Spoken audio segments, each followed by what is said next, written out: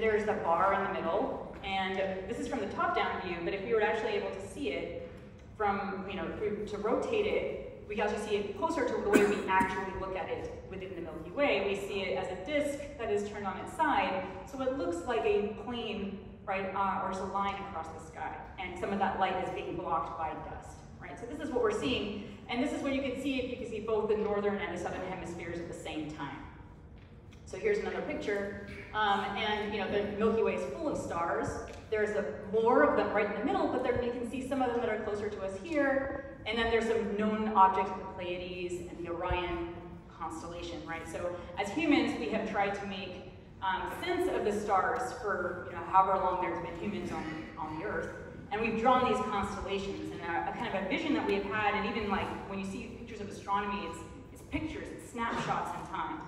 And the way we've been thinking about it is that basically everything is very static, right? We're taking pictures, nothing's really moving. And there's an entire new paradigm shift now. We're actually able to clock the motions of stars, and all of a sudden the Milky Way will come to life. So the, the main new piece of information that we're getting is coming from this Gaia satellite in particular. Um, Gaia is monitoring billions of stars, about a billion stars, around um, 70 times each over five years. So like you're averaging over 40 million observations, right? I think that gives a lot of data that's coming out. And what Gaia is able to do is actually track how stars are moving across our line of sight. So they can see an individual star move with respect to some background that's not moving very much. And because it can track its motion as a function of time, you get a change in motion over time, which gives you a speed.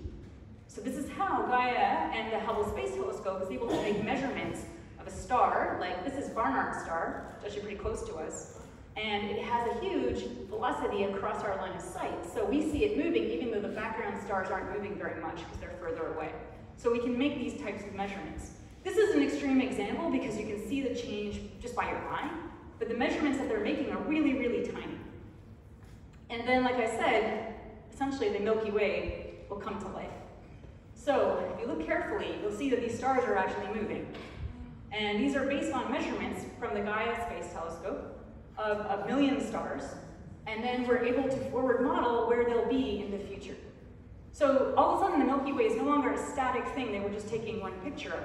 Right? These stars are moving around. You can see this one zipping by there, and these ones are going over this way, right? And we get a sense now of our Milky Way galaxy as an evolving structure, right? And I think this is an important, different way of thinking about our night sky as, as something that's almost alive, right? It's moving around, it's changing, evolving with time.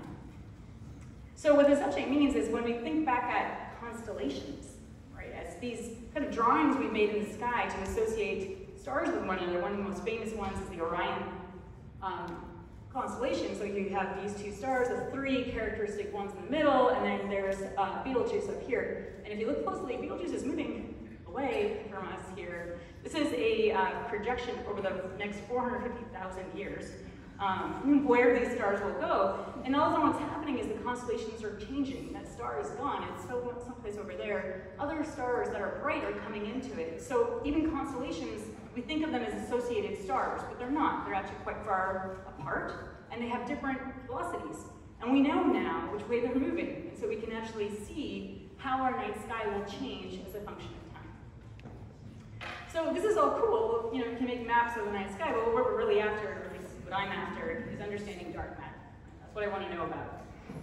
So, you know, the way we think about motions, one of the easiest ways to make the analogy is to think about our solar system. So we have the sun, and we have planets that are orbiting around the sun. Now, the rate at which they're moving, the velocities that they have, are dependent on the mass of the sun. So if you change the mass of the sun, you'll change how fast the planets will move, right? So here's another way of thinking about it, we don't need to get into the details of this, but you can think about space-time curving, and you have a heavier thing in the middle, the sun is more massive, you'll get a deeper potential. And basically, in order to stop rolling down into this well, you have to move faster, right? So the only thing I want you to take away from this is that the motions of objects tell you something about how massive central source is, right? So in this case, the motions of the planets tell you about the mass of the sun. And what I want to do is use the motions of stars to tell me about the mass of our Milky Way. Right? That's the idea. Now, people have been doing this for quite a while. Um, there's very famous work that was led by Vera Rubin, um, and Vera did fantastic measurements that really showed to the community that stars within our Milky Way galaxy and various other galaxies are rotating. And this is an example of an external galaxy, and what she did is made measurements of the speed that these stars are moving towards us or away from us, and she made a plot of it. And then she said, okay, well, like I said, the motions of stars tell us something about the mass. So she said, okay, well, the speeds are this high, and look, they keep staying really high. That means there has to be a lot more mass there than stars. Because we can make a prediction of, like, say, we add up all the stars in this galaxy, and we can say the speed should be like this. But we're observing much higher speeds. And if you observe a fast speed, this means there's more mass. But there's not that many more stars. So from this, we inferred the existence of some sort of unseen material right? That doesn't interact with light in any obvious way. Um, and that is what we refer to as dark matter, right? So I'm not in this talk going to get into the weeds of what dark matter is because, surprise, we don't know, right? Um, but we're working on it. Um, but what I want to get at is another way that we're thinking about it, which is just let's constrain how much there is, and then from there maybe we can develop models to explain what it actually is. Right? So as astronomers, we are currently trying to use the motions of stars um, and other objects that are orbiting around our Milky Way to understand distribution and the total amount of dark matter um, that is in and around our galaxy. So we can turn to theorists who have developed models for what they think dark matter, what the distribution of dark matter should be. And um, these folks have made a lot of really awesome movies of galaxies and structure forming. This has frozen on me. But I will try to speed through this. And so what you can see then is that all of the stuff that you're looking at here is dark matter, um, and it is distributed in roughly a spherical distribution, maybe in the middle regions, but then in the outskirts, maybe it's a little bit more, you know, along this direction. We refer to collectively all of this dark matter that is surrounding, that you can see here, as a halo, right? So it's just like a bunch of material that is surrounding our Milky Way. And what's interesting is if you actually put the Milky Way in there, it would be this like yellow dot center. So all the stars that we see are a very small component of the full dark matter distribution that we actually think is there in our Milky Way. So there's supposed to be a lot of this stuff. That's really the main point. There's a lot of it, and it's clumpy. There's a bunch of little small things kind of all over the place. And these small things are orbiting around the center of this system. We refer to these as satellites. And the prediction from the theory is that, yes, there should be dark matter all around our Milky Way, and some of it should be clumped into individual objects that are orbiting within this Milky Way halo of dark matter, and we're referring to those as satellites. So they should be there, so then the theorists go turn to the observers and they say, go find them. We say they should be there. So now all of a sudden it's the job of all the people using telescopes right? I'm a random theorist, right? So I can all the models and say, oh, go look for them. So this idea isn't so crazy because we can actually start looking at our night sky and trying to see, are there galaxies, like big things that are orbiting around or moving around our Milky Way? And if you go to the southern hemisphere, southern night sky, two very prominent examples are there right away. Very easy to see with the naked eye if you go to a sky zone which is very dark. This is taken in the Patagonia region in Argentina.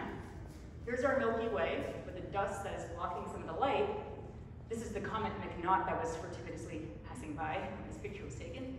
And here, these two objects, this is the large and the small Magellanic Cloud. These two galaxies, they're actually galaxies, they are orbiting around our Milky Way. And so we've actually known since there were humans right in the southern hemisphere that there are other objects there. Um, and in fact, our Milky Way is not alone it does actually have at least two objects that are orbiting around. So I want to take a little bit of a closer look at the larger of the two galaxies, the Large Magellanic Cloud. So this galaxy is small in comparison to our own Milky Way, but still big enough and close enough to us that people from many different civilizations in the southern hemisphere have known about them. Right? We refer to them as the Magellanic Clouds um, in, in Western society, but of course they had different names by different peoples in the the southern hemisphere. Um, and so the structure of this galaxy is a little weird. It's got this big bar, um, and there are stars that are up here and around here. It looks pretty disordered. Um, and this is a, known as an irregular type galaxy. And it's given that name because it looks not regular. nothing much more complicated than that. Um, so the most prominent structure, as I mentioned, is this bar. This is another image of the same galaxy, and it is in fact my favorite image of this galaxy. Um, and you can see right here, this is the bar that I just showed you in the previous image. Now obviously this isn't as impressive as the last one, right? It doesn't look like, so, like all that much. But what makes this image so amazing is not about the quality of the image itself, but rather where it was taken from. It was taken by the Spirit rover on Mars. So they, you know, got the camera pointed it upwards. So it's the first example of extragalactic astronomy being done on another planet, which I thought was kind. All right, so we have known about the Large and Small Magellanic Clouds for a long time. And so starting, um, this will be a movie that'll show you as time has progressed since 1920 is where this starts. Like I mentioned, we've known about these two for a long time. Um, there's going to be many more discoveries of satellite galaxies, these small things that are orbiting around our Milky Way. Oops. Great. So these are now other systems are showing up. These are fairly bright systems that we've been able to see um, with most ground-based observatories. So again, we're still like now entering the 2000s, and this is the Sloan Digital Sky Survey is what gave you these red ones. And then most recently, the Dark Energy Survey, which looked at the south, and that gave you all these green ones. So we started with two, and we're now up to about 50. So these are distinct galaxies. They're orbiting around our Milky Way. And so many, so many of them are actually only recently discovered. And now we have space observatories like Gaia that are going to tell us exactly how fast each one of these points are moving. And so the idea is that if we can clock how fast they're moving, we can start to say how much mass must there be to make them move so quickly. Right? So um, this is what my team has been doing. We've been creating simulations um, and actually trying to track the motions of all of these satellites. So these were the classical ones. These were the ones discovered prior to 1999. Um, and we can, we've known about these ones for a while. They're the brightest systems on the sky. Here's the large and small Magellanic Clouds. So what you're looking at here is the Milky Way's in the middle. These are where all these points are today, and then we're looking backwards in time. Where did they come from? Right, so some of them have been around for a while, right? It's a few billion years about 2 billion years. And then some of them, like the Large and Small Magellanic Clouds, look like they've come in fairly recently into our neighborhood. But like I said, in the era of Gaia, we have more satellites now. And um, we can also do the same exercise. And now all of a sudden we have all of these objects moving in all sorts of different directions. And we're going to, there's just so much more data. And so we're going to try to use this mess of different motions of all these things to try and understand where did all of these satellites come from, right? And what do they tell us about the dark matter distribution around our Milky Way? Right, so we want to try and link, this is what the dark matter distribution might look like. Each of these points would be represented by one of these smaller points here, right? And in some ways, we hope that the motions, how fast they're moving, tell us about how all of this light pink stuff here is distributed, right? So people have tried to do this already with the motions that we have at the moment and the numbers are kind of all over the place to a certain extent, right? So this is uh, a plot that's actually from a, uh, a paper by Professor Eadie, who's a professor at the University of Toronto. Um, and what this is, is just showing you how much mass, how much of this dark mass in particular, is there as a function of distance away from the center of the Milky Way. And the only thing I want you to take away from this is it's kind of scattered, and you can see these error bars are pretty big. But really what this boils down to is we actually know the Milky Way's total dark matter mass to be on the order of a trillion times the mass of the sun. It's a lot. Um, but we know it to within a factor of two, which is actually pretty good, right? I mean, so especially as a theorist, I do like orders of magnitudes. For me, like an error bar of like a factor of 100 is like amazing. So a factor of two, I'm like, you're joking, this is fantastic. the issue is that a factor of two is still a problem. So, as I showed you these plots of this dark matter distribution, there's all these small systems all around the Milky Way here, or this dark matter distribution. um, you'll notice there's a lot more of these dots than there are of these dots. So there's a mismatch between these two um, predict, like the predictions and the observing on the observations. So the theorists, we refer to this as the missing satellite problem. We're like, we predicted way more satellites, observers are just not finding them. And the, and the observers, they call this the overabundance of satellites problem. We've just made too many, not our problem, right? So, so there's sort of battle between the two, and, in the end, the answer is kind of both sides are right. So here's another um, example of this distribution of dark matter uh, that could exist around a galaxy, and the bright points here are telling you where there could be satellite galaxies. And by that we just mean they have stars, right? That would actually be seen. And if you say, okay, let's put in some models that actually account for how stars form over time, how many of these dots should actually have stars in them? Right? Should all of them? And what we're turning out, the answer is that not all of them should. Some of them are just too small. And so in the end, you may actually come up with the stars would actually look much simpler. There's only a few bright things around. And all of a sudden we get closer to the numbers that we're actually. So part of the answer is, yeah, there actually aren't as many things, some, not all of those clumps of dark matter should have stars in them. So it's part of the answer. But that factor of two uncertainty is still a problem. This is just one model. But if the Milky Way were two trillion times the mass of the sun, there will still be too many of these bright dots around. Whereas if it's just a trillion times the mass of the sun, we're okay. So literally is a problem with a factor of two. So we're trying to, we're in a regime now where it actually is a precision measurement we're trying to get out. And that's the challenge right now. This is why the quality of the data matters so much.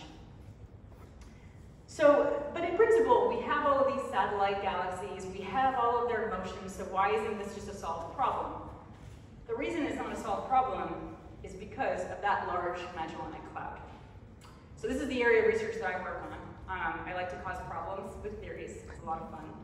Um, and so what I've been working on, and my team's been working on, is saying that this is our Milky Way here. This is the large and the small Magellanic Cloud that I showed you, so remember they're in the south. Right? They're not that far away from us. They're only about 160,000 light years. And they're a lot bigger than we think. So right now they kind of look like two little blobs over here, but like just look at the gas that's associated with them. So right now what we're looking at is just stars. There are stars in both of these galaxies. But the gas, particularly hydrogen gas, looks like this. There's a lot more material there than we're really seeing. So there's this huge stream of gas trailing behind them. There's a bridge that connects them. There's all this stuff out here. So when you look at anything in the gas, it starts to look a lot more important, right? There's a lot more material that's there. And my team has also been working on trying to understand where these galaxies came from. How long have they been around our Milky Way? And it turns out that with new measurements from the Hubble Space Telescope, we've been able to clock exactly how fast these galaxies are moving. And we've tried to figure out where they came from, and they don't seem to have been around for very long.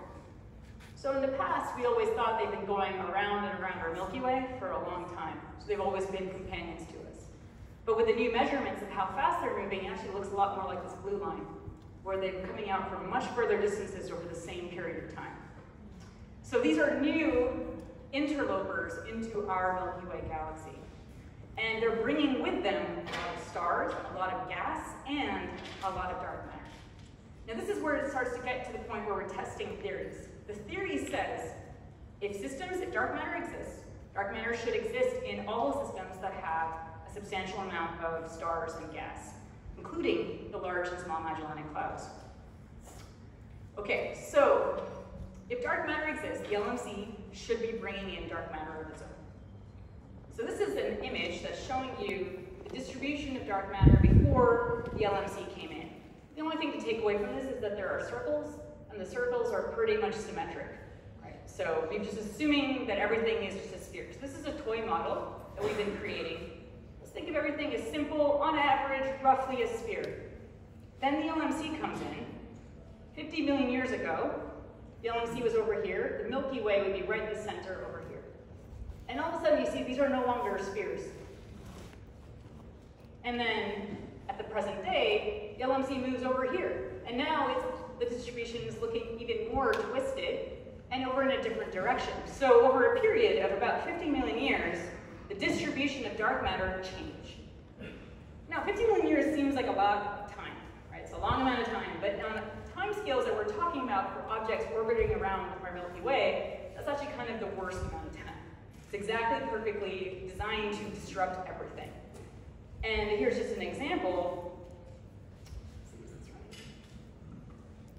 Okay. So this is the dark matter distribution around our Milky Way. There's the LMC with its own dark matter distribution. And these two lines are showing you one case, let's ignore the LMC entirely, and the other case, let's put it in.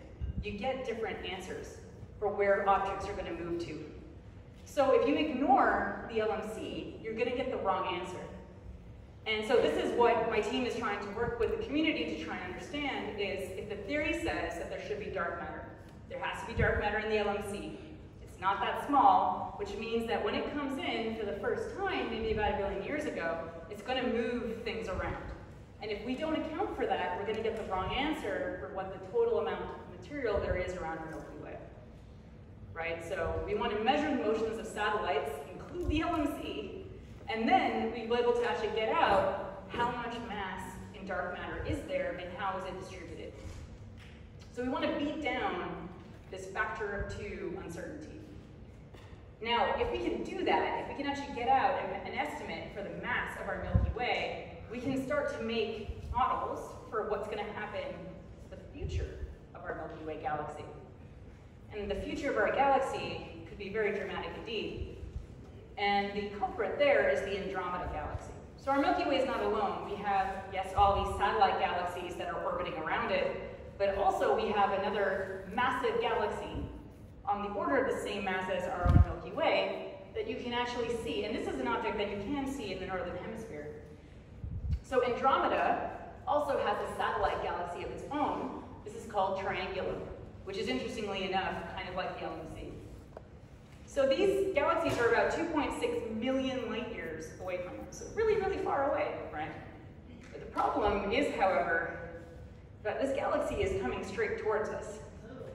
Yeah, exactly. that is the correct reaction. so we have, this is an image of what Andromeda would look like on the night sky if you could actually see its full extent. So here's the full moon for reference. It's actually really big on the sky already. It's just that most of these stars are too faint to see. But like I said, it's coming directly towards us. And we know this because we've measured its speed using the Hubble Space Telescope. And interestingly, we only did this in 2012. So before that, we didn't really know. Like, we knew it was coming at us, but we didn't know it was coming straight at us. and now we've measured it, and it really is coming straight at us. So pretty interesting this is happening. But again, if we can get models of dark matter, we can start to say when these events were going to happen. And our current estimate is that this collision between Andromeda and our Milky Way is going to happen in 4 billion years. Whoa. Um, but you may ask, the universe is expanding, right? This is what Gabe got the Nobel Prize fairly recently. We know that objects are moving away from one another. In fact, they're not just expanding, they're accelerating their motions away from one another. So if everything's expanding, why is there a collision between two galaxies? And the answer is dark matter. So you have these two galaxies, the Andromeda Galaxy and our Milky Way. And if there were no dark matter, these two systems would be so far apart from one another that they would just fly apart along with the expansion of the rest of the universe. That's what would happen. But remember, there's all of this unseen mass that I can depict as big spheres around these two galaxies. And because of that, that means their attraction to one another is very high, and in fact, it's higher than this expansion rate for the universe. So even though everything else is moving away from each other, these two galaxies will overcome that and come back right at each other. Right? So really it boils down to dark matter. So this again is why we need to get that amount of dark matter down for our Milky Way, because this is going to govern when this type of interaction and um, in the near future, we're going to have a number of measurements for the Andromeda Galaxy as well, for all the satellites that are orbiting around it. And we're going to do the same thing. We're going to try and get an estimate of how much of this dark matter is around this galaxy too. And then it'll be really fun to revisit this question. But at any rate, we're going to do it anyways for now with the information that we have. So we have set up a simulation um, and this is basically an attempt to model what the future of our Milky Way is going to. So we have here the Andromeda Galaxy. This is our Milky Way, and as I mentioned, Andromeda has a satellite of its own called Triangulum or M33. So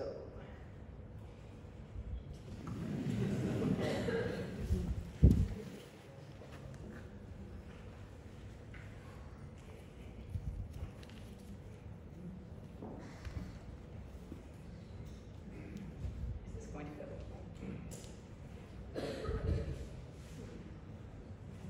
Oh, happened.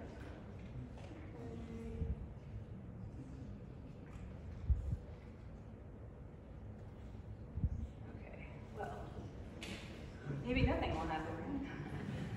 No, no, no, I'm gonna find it.